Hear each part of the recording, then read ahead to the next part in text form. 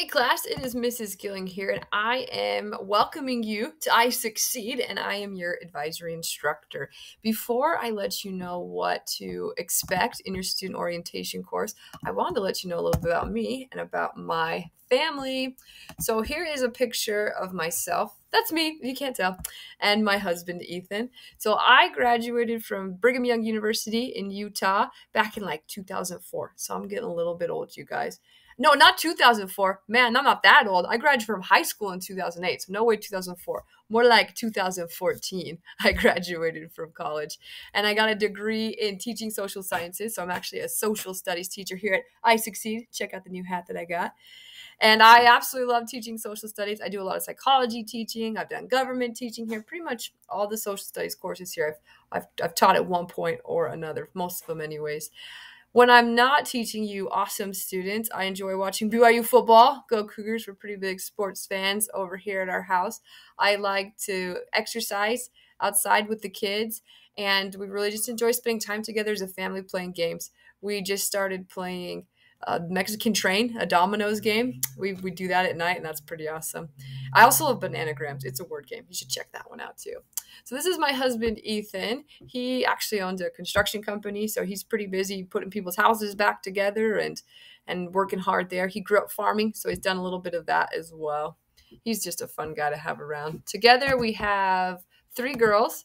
Our oldest, her name is Taylor, and she is six years old, and she will be entering the first grade here pretty soon. She is our pretty girl. She loves all things pretty pretty necklaces, pretty dresses, pretty bracelets, and she also really loves the movie Descendants on Disney Channel and zombies. So if you ever meet her and you talk about those things, she'll think you're the coolest person ever.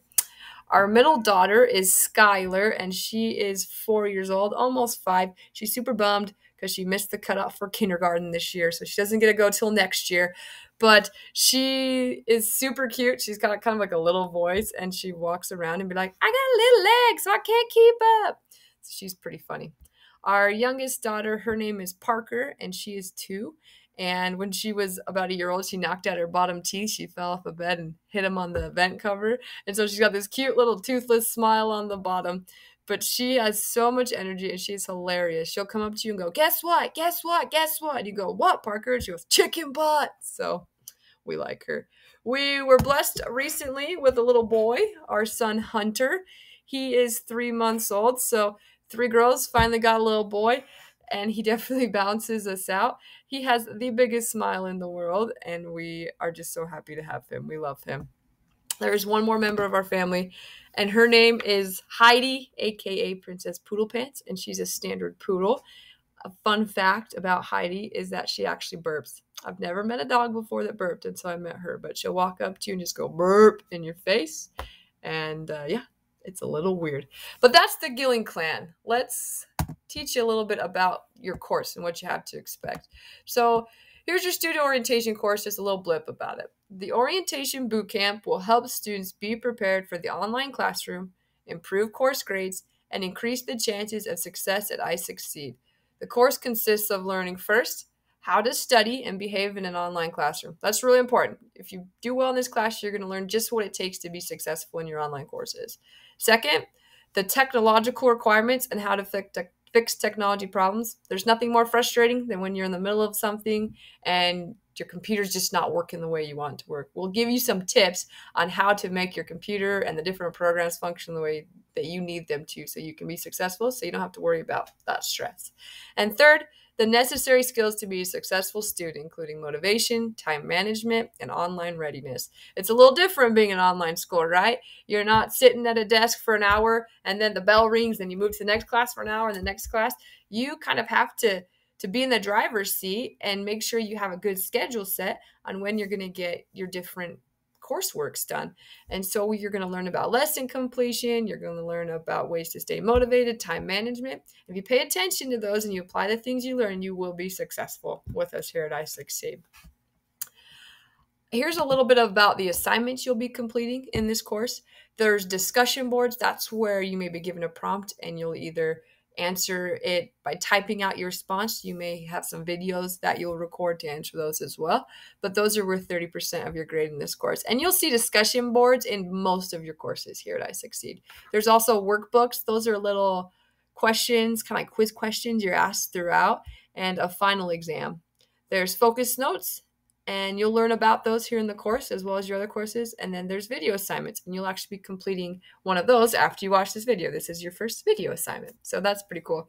And that is worth 5% of your grade. Together it all adds up to 100% so do well on those and you'll get a great grade. And not only will you get a great grade but you will be prepared to be an awesome student. Here at iSucceed this is my role as your advisory teacher so first of all, I grade your student orientation course. So this course that you're in, when you submit assignments that need grading, I'm the one that grades them. So if you have questions, feel free to reach out to me and I'll, I'll let you know.